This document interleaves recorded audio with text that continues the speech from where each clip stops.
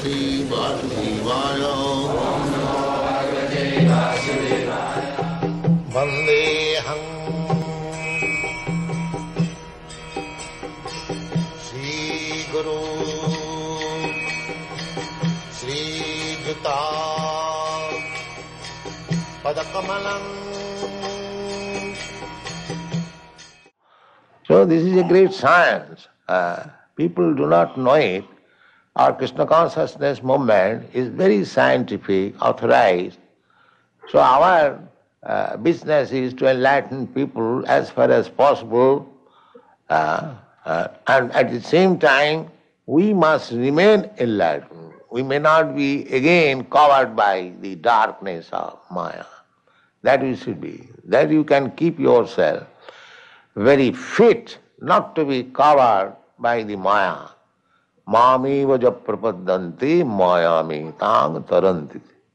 If you very strictly adhere to the principle of Krishna consciousness, then Maya will not be able to touch you. Uh, uh, that is the only remedy. Otherwise, Maya is always looking after the opportunity, loopholes, how she can capture you again. Uh, but if you remain strictly in Krishna consciousness, Maya will not be able to do anything. Mami vaja prapadanti, devidhisa gunamai, mama maya duratta. It is very difficult to get out of the clutches of Maya. It is very difficult. But Krishna says, Mami vaja prapadanti, maya me tang taranti. Uh, if one is strictly adherent to the lotus feet of Krishna always. Uh, therefore, our this program is 24 hours thinking of Krishna. Satatam, uh, satatam, chintayat Krishna. Uh, uh, Kirtaniya sadahari. These are the recommendations.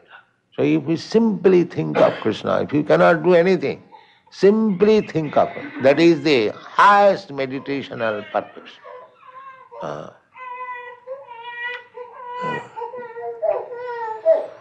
so, uh, always chant Hare Krishna mantra, be in touch with Krishna in so many ways, then you are secure. Maya will not be able to touch you. And if, if we can somewhere or other pass our days and at the time of death we remember Krishna, then the whole life is successful. Thank you very much.